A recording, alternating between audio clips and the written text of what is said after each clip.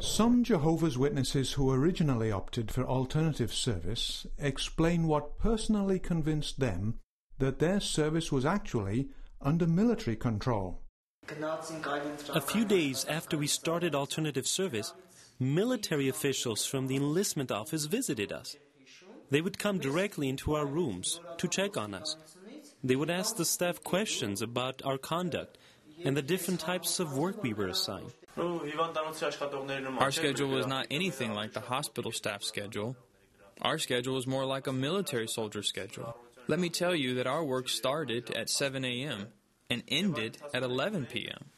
We had approximately four hours in between to eat and rest. The military officers would come to see us, and they would tell us what to do.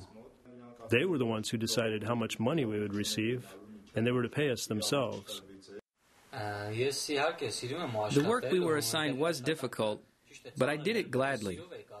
The only reason why I refused this service was because it was military in nature. In addition to their Bible trained consciences being offended by the military supervision, the witnesses' human rights were also violated by the punitive nature of the service. They were not permitted to leave their place of work, and they were kept under surveillance. In effect, their workplace became their prison.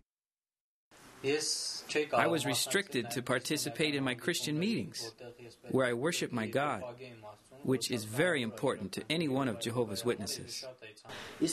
We were forbidden to leave the premises after work.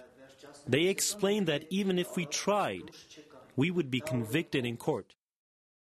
The length of their alternative service was to be 42 months, in sharp contrast with the 24 month period for military service. Altogether, 22 conscientious objectors who are Jehovah's Witnesses felt impelled to discontinue their alternative service when it became apparent that it was under military supervision. All were prosecuted. Some were even charged with military desertion. Additionally, there are 45 other young witnesses who opted not to accept alternative service and are still in prison for their conscientious objection to military service.